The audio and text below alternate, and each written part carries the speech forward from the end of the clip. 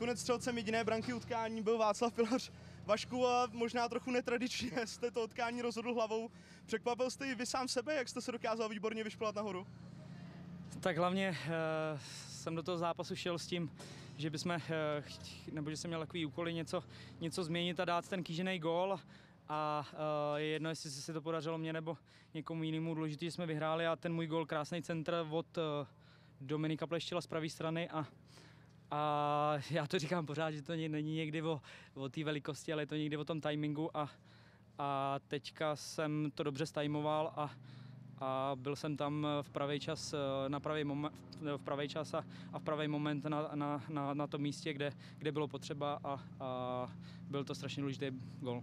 Využil jste možná i toho, že o vás to vypadalo, že obránce vlastně nevěděl, protože on, on vlastně nevěděl, kde vy jste a vy jste ho najednou přeskočil. Asi máte pravdu. Já jsem tam vyběh spo, spoza uh, a pak už jsem vyskočil a zůstal jsem jako ve vzduchu a pro ně to bylo těžké už, uh, už vyskočit, protože jsem ten, ten balon trefil v té v největší vejšce.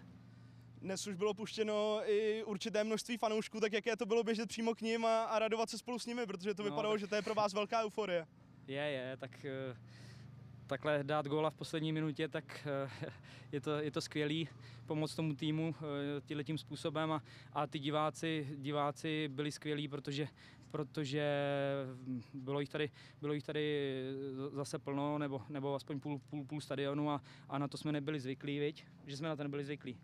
No, no. A uh, pomohli nám diváci a, a pomohli nám uh, rodina, kamarádi a, a jsme rádi. Přišel jeden z dalších gratulantů, no, tak jak malej. moc jste rád, že, že vlastně vás viděl dát tenhle ten rozhodující gól. A... Rád, ukáž.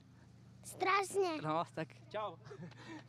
velký fanoušek. No, ne, to je syn, malý. Já, já vím, jo, myslím, myslím jo, jako, jo. že je váš velký fanoušek. Jo, jo, jo, tak je strašně, tak už teďka má věk 7 let, takže to vnímá a jsem rád, že, že, že ho to aspoň nabudí a bude hrát doma fotbal nebo na počítači.